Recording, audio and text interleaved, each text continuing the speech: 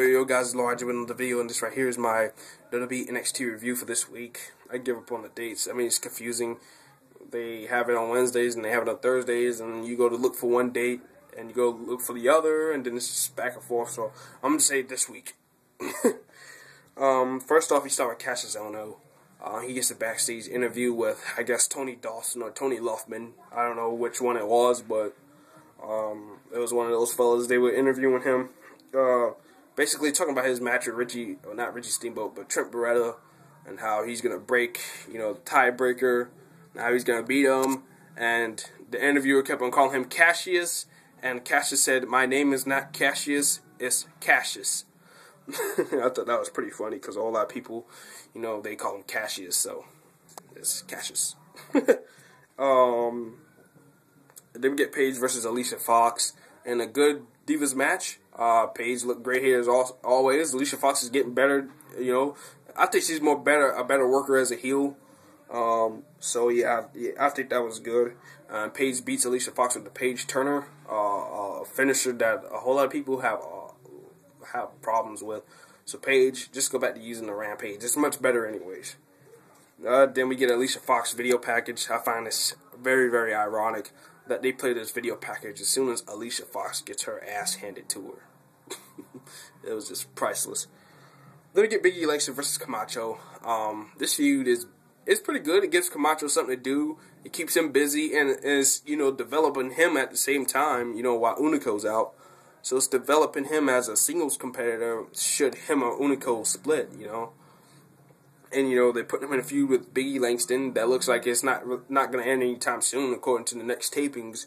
But we get this match. It was a pretty good match. You know, not all that, not spectacular or nothing. They're just basically slugging it out, kicking each other, beating each other down.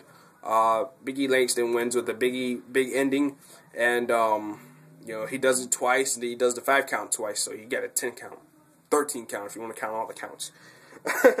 So yeah, that was pretty cool. Then we get Trent Beretta. Uh, we find out that he got attacked backstage, and as the camera goes deeper and deeper down the hallway, we find out that Leo Kruger was the assailant. Um, we find Leo Kruger around the corner, sitting down, um, and tugging his hair and smiling, doing a laugh. then we get Bronson. He comes out um, and just squashes Nick Rogers with the heel hook. Uh, WWE you gotta push this guy. He's a beast. I like Bronson a whole lot. Push him. He could be a mix between Ken Shamrock and Samoa Joe. What's that big?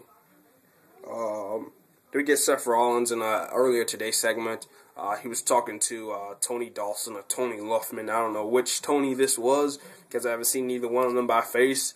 Um, but he was in an interview with one of the Tonys, and he gets attacked from behind by Jinder Mahal. They brawl around for a good minute. Uh, then the officials and referees separate them. So this spills up to the title match that happens at the next tapings. Uh, well, the tapings that happened last week. So, yeah, if you guys want to look that up, who won, just look it up.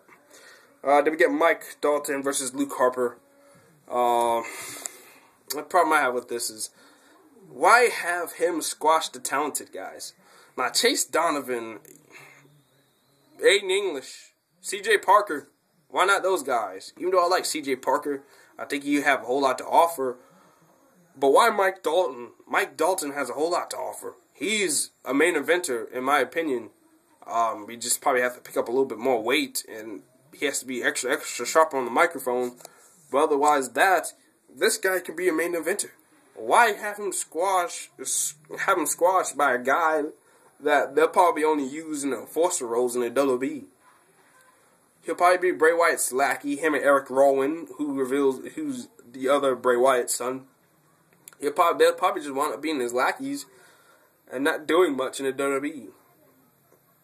Like the the, the straight edge society. Look look what happened to Luke Gallows. He hung around CM Punk, but as soon as you know they broke away, he got released. Gallows has a whole lot of potential. Now he's in TNA as Doc doing a damn good job, if you ask me. Um, but yeah, Luke Harper squashes Mike Dalton with the truck stop. Uh, injury update on Trent Beretta. They say he might not get a chance to compete for tonight's main event. Then we get the Raw rebound, basically, you know, CM Punk celebration, one year long celebration, which I thought it was a pretty decent segment. and we get Ryback coming down, and then Dean Ambrose jumps on him like a wild man, or he just comes out of nowhere. He's rawr, and he just jumps on him, and you know Seth Rollins. They all eat at him and put him through the table for the next night, uh, for the second night in a row. And uh, as they was doing this, Roman Reigns says, "Let's do it again. Let's do it again. Get him up." King and Jer- and King and Cole was just like, "No, don't do it." I thought that was funny. Um, but um, Kassius Ohno comes out. Uh, he cuts a promo. He says that Trent Beretta had a mishap, and he tells Summer Rae to tell the bell ringer, count to ten, and declare me the winner. Dusty Rhodes comes out to a big pop and says that, wait a minute, now, Cassius oh no, you still got a match tonight. You still gonna compete tonight. And you competing against Richie Steamboat's music hits. Steamboat comes out to a, a one ovation and here's the main event: Richie Steamboat versus Kassius Ohno, number three. Um, this match is pretty good, and I thought it was good. I thought it was match of the night, considering the fact that we had a bunch of squash matches. Um, but yeah, this is easily a match of the night, and Richie Steamboat, Richie Steamboat wins with the uh, sling blade, and according to the next tapings, this feud looks like it's over. It looks like it's over, which I really don't mind because as long as we get good matches, I mean that's all that matters. But you know, Steamboat, no, no, you know, yes, that. But this episode of NXT was really good. Uh, I'll link, I'll leave a link in the description box for you guys uh, that want to watch it. Um, tell me what you thought about today's show. Um, yeah, and you know, I'm I'm seeing how I'm gonna do this here because I don't watch TV at home. I watch TV with my friends. So I don't know how I'm gonna do my because people want me to do Raw and SmackDown reviews and TNA reviews. Um, I'll probably do that, but I'll probably it'll probably be a day later. But um, I'm trying to see if I can do that Start Monday um, with the Raw reviews and SmackDown and TNA. Yeah, yeah, yeah.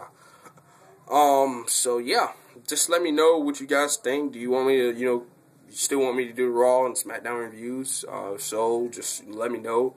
Um, and yeah, I'll be doing a Q&A soon too. So if you got any questions, uh, just leave them down below, and I'll hit you up with them uh, with a video. And uh, yeah, just lodge you another video, in peace. Check out the rest of my NXT reviews.